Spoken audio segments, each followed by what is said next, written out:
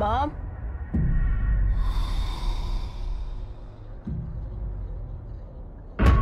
I have an archdemon possessing the body of an innocent 11-year-old boy.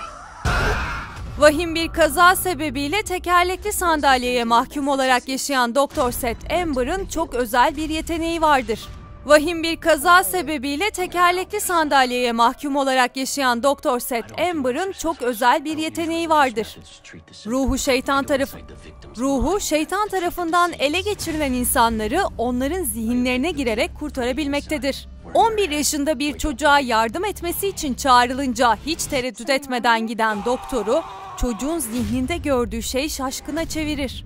Rastladığı şeytan seneler önce doktorun eşi ve çocuğunun ölümüne sebep olanın ta kendisidir.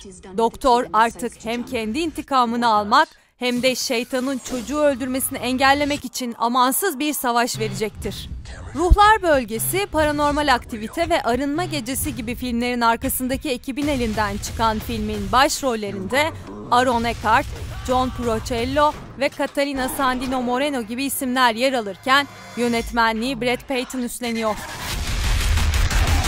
God is not here. Best I can tell, you've been walking around two broken legs for weeks. When do I go back? You ever again land on those legs of yours, those bones will turn to powder. Plenty other ways to serve your country.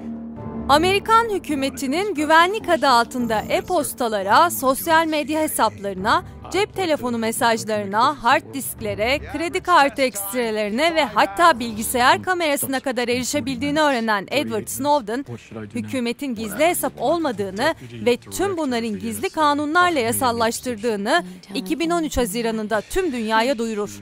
Snowden o anda Amerikan tarihinin gördüğü en büyük vatan haini ilan edilirken aynı zamanda da bir kahramana dönüşecektir. 3 Oscar ödüllü yönetmen Oliver Stone'un yönettiği filmde Snowden'ı Joseph Gordon-Levitt canlandırırken filmde ayrıca Shailene Woodley, Melissa Leo, Nicolas Cage gibi ünlü isimler yer alıyor. The whole kingdom, Snow White. NSA is really tracking every cell phone in the world. Most Americans don't want freedom, they want security.